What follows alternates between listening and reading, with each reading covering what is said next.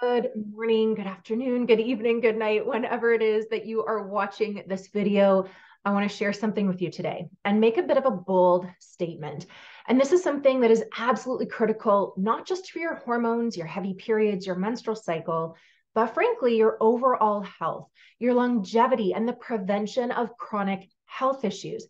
And this is something that far too few practitioners are talking about. And it's something that in my practice has become a non negotiable. I'm talking about your gut today, your digestive system. Now, stick with me for a second because I get how far removed this may seem from the actual problem that you're having with your heavy periods. But I promise you, you are going to want to take this seriously if you truly want to optimize your health, not just get your hormones in check. So let's dive in. What does the gut have to do with it? What does it have to do with your heavy periods, your hormones? In a word, everything. For starters, your gut is home to something called the estrobolome. This is a group of bacteria that live in your digestive system that are responsible for maintaining estrogen levels in circulation. When your estrobolome is upregulated, when it's overactive, it's going to kick out an excessive amount of an enzyme called beta glucuronidase. And beta glucuronidase is an evil little devil when it gets out of control. What it does is it deconjugates, which is really a fancy way of saying that it's breaking estrogen off of a molecule that it's been bound to in the liver for preparation for elimination. And when this happens, estrogen becomes free again and it goes back into circulation, which creates an opportunity for estrogen dominance and the heavy periods. This is a big deal. Your gut bacteria can literally be responsible for your hormonal issues and heavy periods. It starts with the estrobolome, but it certainly doesn't end there. A combination that I see time and time again is heavy periods and iron deficiency, which kind of makes sense, right? However, when you're iron deficient and you're popping all of the iron supplementation and your ferritin levels aren't budging, we've got to look at the gut to figure out why you're not absorbing that iron because the nutrients are absorbed in the gut. If you have leaky gut, for example, you're not going to absorb that iron. We also have to think about pathogenic overgrowths because pathogens like parasites, yeasts, and fungus, as well as pathogenic bacteria, feed on iron. So, popping all those iron pills, if you've got a pathogenic infection in your gut, is really allowing that infection to grow. You're feeding those pathogens instead of feeding yourself. The gut is also the biggest source of internal inflammation, and inflammation is the cornerstone of every single period problem.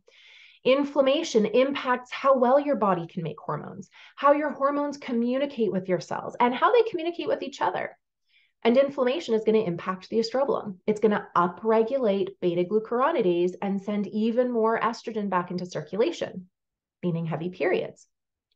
Pathogens, by the way, will also upregulate inflammation and leaky gut, both of which will upregulate the estrobolome and cause more estrogen to go back into circulation.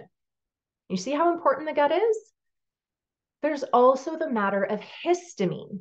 If you have an overproduction of histamine, which is released by mast cells throughout various cells and organs in the body, largely in the digestive tract, where about 80% of your immune system lives, you're going to make even more estrogen because histamine stimulates the production of estrogen.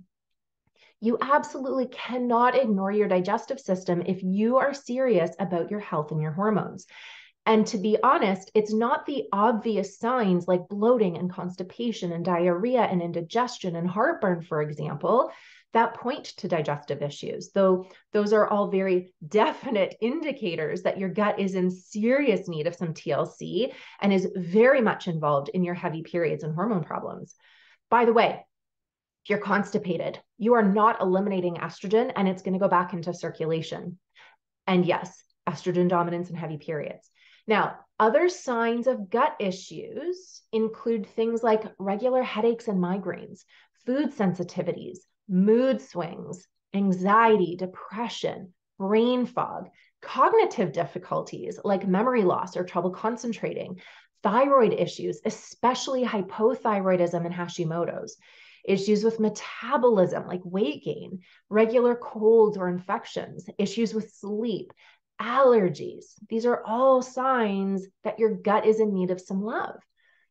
It is so incredibly critical to do a deep dive into your digestive health, both in support of your hormones as well as your optimal health. The answer, by the way, is not to take a probiotic. The reason why that approach doesn't work is threefold. Number one, most over the counter probiotics are strain based and they don't even survive the upper GI tract anyway. Two, strain based probiotics can create imbalances in the gut bacteria, making the situation worse. And three, if you have a pathogenic overgrowth, probiotics can make you feel worse, not better. And pathogens need to be dealt with appropriately before they can become a serious issue. Probiotics alone also don't help histamine issues. They don't solve for leaky gut or inflammation. It is absolutely critical to run proper functional labs to find out what is going on in your digestive system that is contributing to your heavy periods. So you can not only lighten up your periods, but you can regain your energy, balance your hormones, and optimize your health for the short and long term, reducing your risks for diseases like diabetes, autoimmunity, and Alzheimer's, just to name a few. Testing is key, and it needs to be the right tests. I run the BiomeFx stool test with all of my clients in the hormone harmony method because it is the only stool test that uses whole genome sequencing to give us the most sensitive and specific results about the health of your gut. So we can know exactly what's going on and what to do about it. Now, I've hit you with a lot today. If you're feeling overwhelmed, please don't fret. I'm going to continue to break this down for you. And you're most welcome to reach out with questions as well. Now, in the meantime, Take care and we'll chat soon. Bye for now.